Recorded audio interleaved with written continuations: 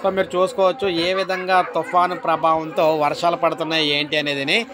AP తెలంగాణలో తుఫాన్ ఎఫెక్ట్తో భారీగా వర్షాలు అయితే వస్తున్నాయి. మీరు అందరూ గమనించవచ్చు. సో తుఫాన్ అనేది ఇలా ఏపీ తీరంలో ఇలా కేంద్రీకృతమైందని మేడం ఇక్కడ.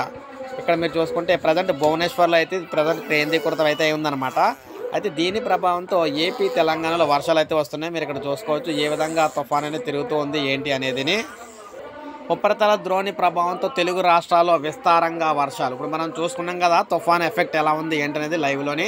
అదేవిధంగా మనం చూసుకుని ఇది మనకి రాజస్థాన్ నుంచి విదర్భ అదేవిధంగా తెలంగాణ మీదుగా బంగాళాఖాతం వరకు కూడా విస్తరించిన ఉపరితల ద్రోణి ప్రభావంతో ఏపీ తెలంగాణ మహారాష్ట్రలో ప్రాంతాల్లో విస్తారంగా వర్షాలు అయితే పడుతూ ఉన్నాయన్నమాట. ముఖ్యంగా వాయుగుండం గంటకు పదిహేడు కిలోమీటర్ల వేగంతో ఉత్తర దిశగా అయితే కదులుతున్నట్టు తెలుస్తుంది. అమరావతిలోని వాతావరణ విభాగం తెలిపింది. ప్రజెంట్ మనకి ఇది బెంగాల్కు నలభై నాలుగు వందల ఎనభై కిలోమీటర్ల దూరంలో అయితే కేంద్రకృతం అయితే ఉందన్నమాట. ఇక్కడ మీరు చూసుకోవచ్చు. మొత్తంగాన బెంగాల్లో నలభై నాలుగు వందల ఎనభై కిలోమీటర్ల దూరంలో ఉంది బెంగాల్కి. అయితే దీని ప్రభావంతో మనకి తెలంగాణ అదేవిధంగా ఏపీలో భారీగా వర్షాలు రాబోతున్నాయి. తుఫాను ప్రభావంతో కోస్తా ఆంధ్రపై తీరంపై లేకపోయినా ఉపరితల ద్రోణి కారణంగా వర్షాలు అయితే పడుతున్నాయన్నమాట. ఏపీలోని కోస్తా ఆంధ్ర రాయలసీమ జిల్లాలో ఉరుములు మెరుపుతో కొన్ని వర్షాలు అయితే వస్తున్నాయి. ఇక తెలంగాణ అయితే చెప్పదు తెలంగాణలో భారీగా వర్షాలు అయితే పడుతూ ఉన్నాయన్నమాట. తెలంగాణ ఇప్పటికే చాలా జిల్లాల్లో భారీ వర్షాలు అయితే వస్తున్నాయి.